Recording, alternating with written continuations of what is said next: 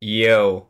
So I was sitting here looking at something on my laptop, and I noticed on the screen, you know, on my desktop screen that had the Houston webcam that looks at the downtown skyline open, that you could see this happen. So I'm going to switch to this view and then go. This happened literally like, you know, a minute ago. And look over here. And uh, let's watch that again and we'll full screen this. My guess is uh, you might not be able to see it here, so I'm gonna I'm gonna take myself off and just have this on the uh, just just what my desktop looks like.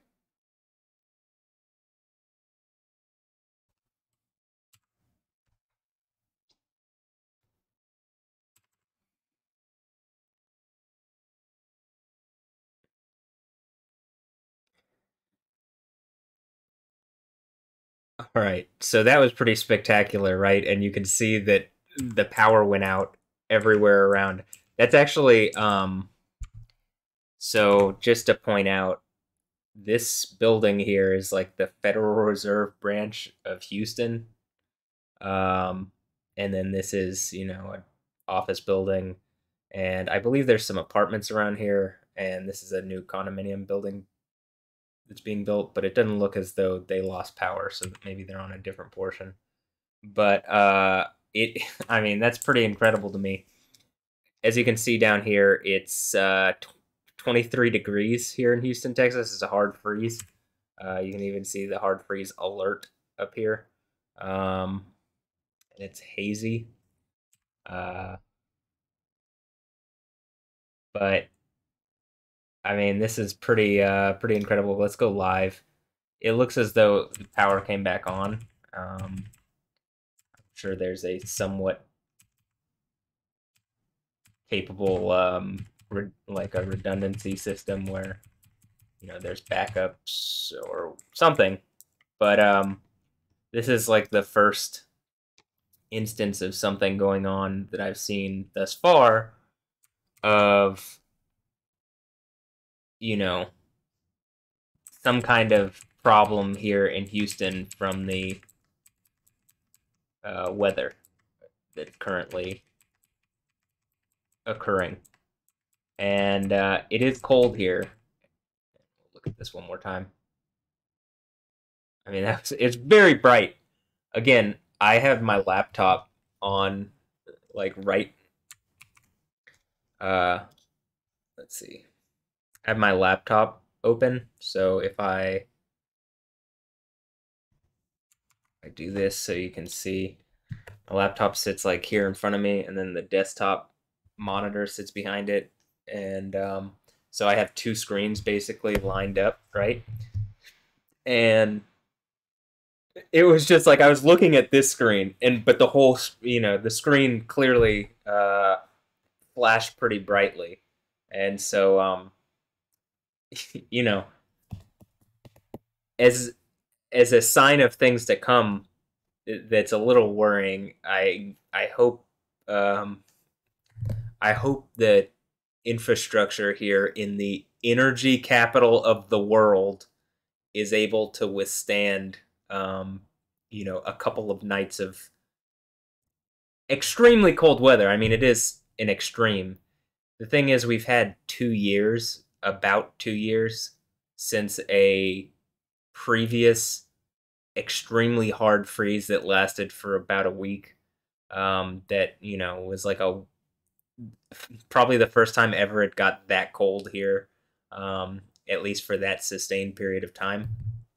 And in fact, let's pull this up really quickly. So go back, you'll be able to see.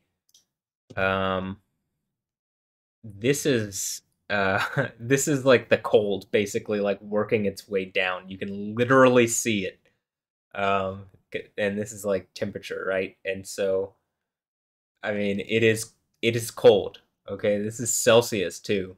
And uh, this is i think the upper level air though. But it's still obviously uh pretty cold right based on this. Um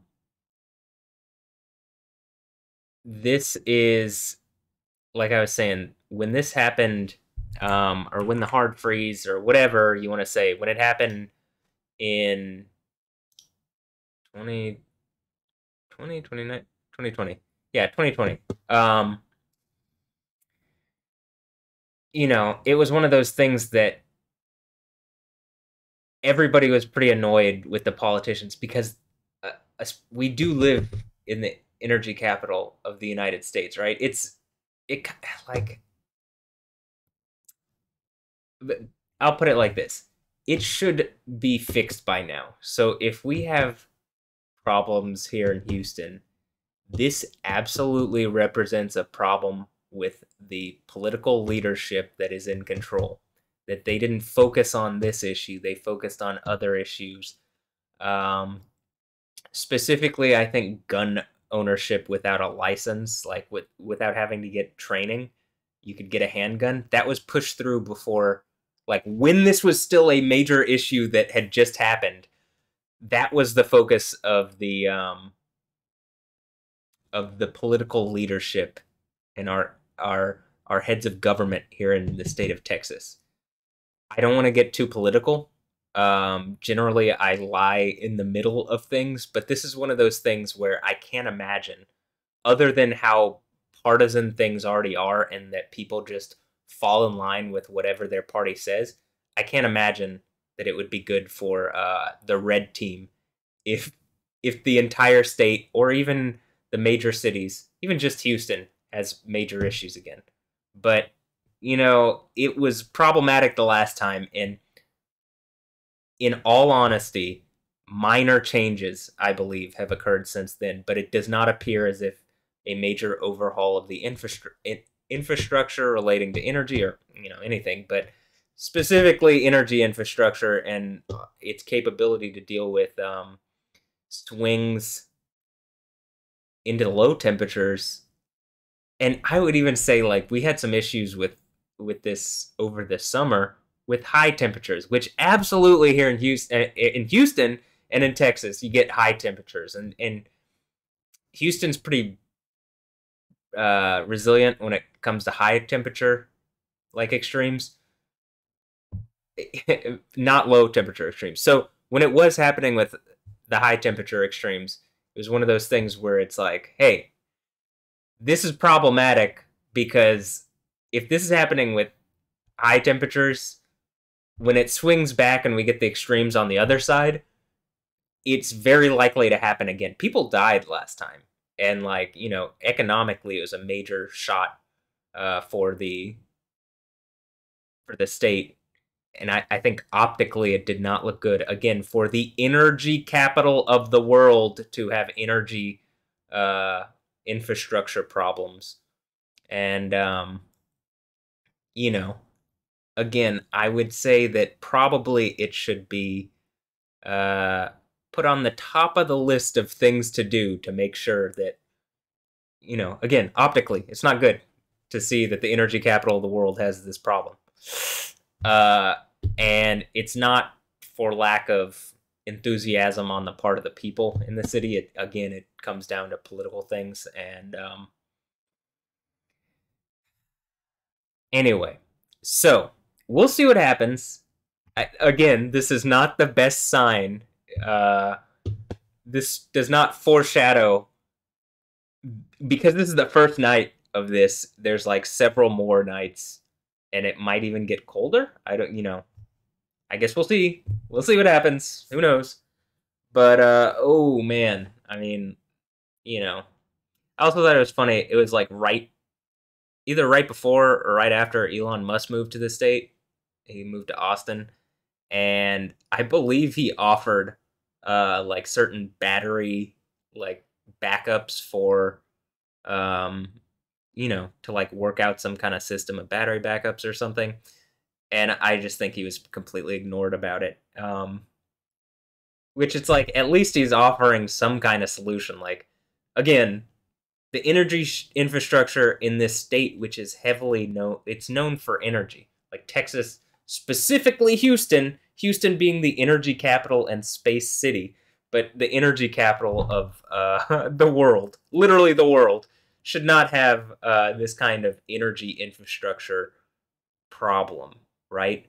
So again, I want to stress that if this problem, you know, if it does get worse, it is the weight is on the leadership politically. Team Red, you got to do something about this. I don't care what the leadership says. They haven't handled it. If we see some kind of problem here, it's obvious if we have we see some kind of problem here, uh, because again, the swing upwards into the high temperatures also caused some problems earlier this year, and so um, you know this is more important than getting a gun without a permit. Like I'm not anti Second Amendment, but like this should jump to the front of the line, right? Um, economically, it's a big thing too. Again, optically, this does not look good for the energy capital of the world, right? And so um, maybe you need some kind of uh, opinion from someone here in the energy capital of the world who's from the energy capital of the world uh, to speak out about, you know, what might be expected of the energy capital of the world, and someone who also lived in Dallas, so I could look, you know, down towards Houston, see kind of, you know, a third person perspective. And yeah, this shouldn't happen in Houston or Dallas or Austin or San Antonio or El Paso or anywhere in Texas. This should not be happening.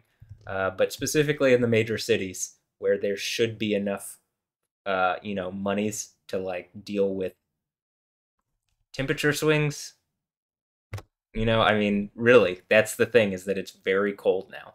And again, when it got very hot, there was also this issue. So um, I'm sure some kind of solution can be worked out. This probably does not, other than the obvious partisan nature of, well, one party's been in charge and probably should have uh, put more effort into fixing this. I mean, I guess if nothing happens, nothing happens. But if something does happen, I think the blame squarely lies on the obvious uh, color out of red and blue. That would be the red one. Uh, you know, and again, I'm pretty purple when it comes to everything. I think both sides, uh, there's truths to both sides. Um, and like, you know, I just want a better world. And like, when you can't engage the reality of the situation because of how partisan things are and you know the leadership in certain groups just might not want to engage the reality of situations in certain ways you tend to have problems. So let me be the first to like point out these uh, things and you know hopefully we drive towards realistic solutions. But that was just absurd. What what you could witness like literally what the world could witness on like a live webcam stream, right, of Houston. I mean, optically, again, the optics of this situation are not great, and um, we're only, I suppose, a couple hours into it. So, uh, yeah, I don't really have anything else to add. Um, I guess I could we could look at one more thing because I I saw this. Uh, let's see.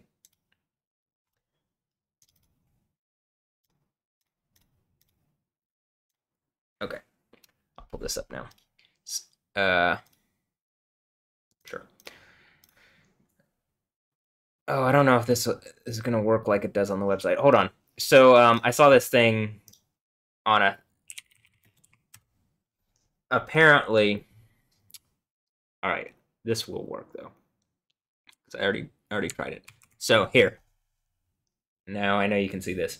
This is Google Earth, like the web version. I tried to pull it up as a program on my computer, but um, you know, I, I assume that the program would work better than the browser. But one thing apparently that has changed is this new is I think this is new.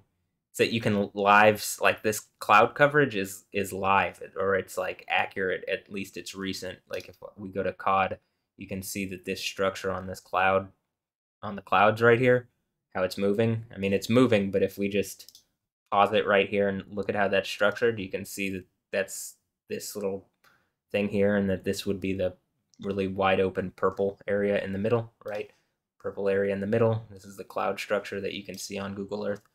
And then if you zoom in too much, you can't actually see anything anymore. But uh, I just wanted to pull it up. Like you can literally see it looks cold uh, from space. So, uh, yeah. Uh, we'll look at maybe one more thing. This is veggie. I think this is visible blue, visible red, visible, yeah, green, veggie.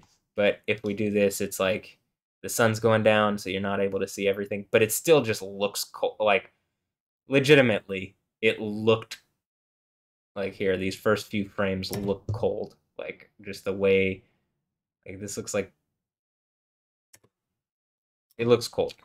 Anyway, uh, so yeah, that's gonna be it for this video, and um,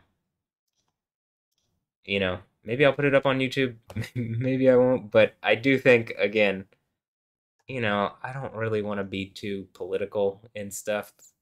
Uh,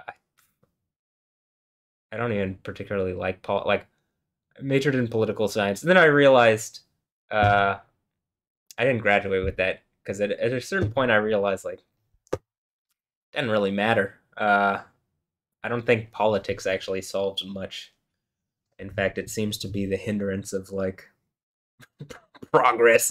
Uh, I it it just is what it is. Like I said, if you if the system is so hyper partisan that you can't get even obvious like stuff like hmm, the energy infrastructure and the energy capital of the world should be uh, you know structurally sound enough to where it doesn't explode because it gets too cold well then like we just saw at the beginning of this video then you know um, if if what i just said is like gonna cause an argument between uh, political parties you know that's what i mean. It's like is anything gonna be done? Um, so team red you should probably get on that. Uh, i suppose team blue should probably hold you to account. Um, but you know i don't really care. I don't like politics and you know i don't particularly think politics gets that much done anyway. Uh, so that's gonna be it for this video and uh or partisan politics. Anyway uh i hope you've enjoyed this. Hope you have a blessed one. Uh stay safe out there. It's very very cold. Um and you know stay warm uh prayerfully this does not get too problematic for the state or the city or texas houston dallas austin san antonio El Paso, Lubbock, Midland, you know, anywhere, Brownsville, Rio Grande Valley, whatever. I like, you know, nowhere in Texas, hopefully, and United States. But I can, I can at least look at what's going on here in Texas and you know be a voice for that. So, um, and you know that would just be a microcosm of the macrocosm that is the United States, right? So, uh, what I'm saying here might apply to other places as well. That being said, hope you've enjoyed. Have a blessed one. Later. Yeah.